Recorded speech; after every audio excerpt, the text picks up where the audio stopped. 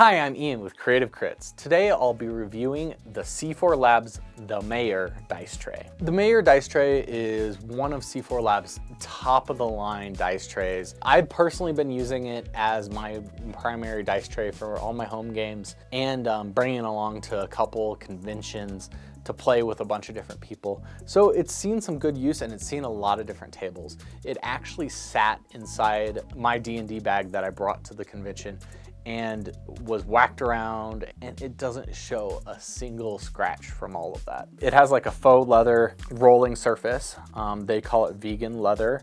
And then there is all these little nooks and crannies for dice to sit around the rim. You can get a dice tower that goes with it. This is an acrylic dice tower that you can see the dice go through it.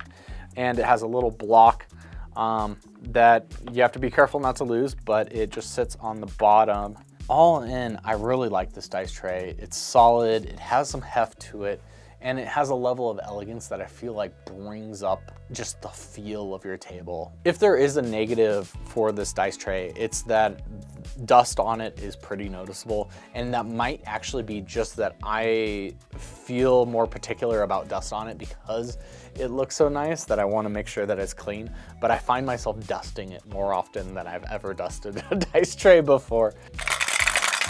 If you like this review and like to see more reviews by us, we have a whole playlist on our channel of different reviews that we've done. Thank you for watching.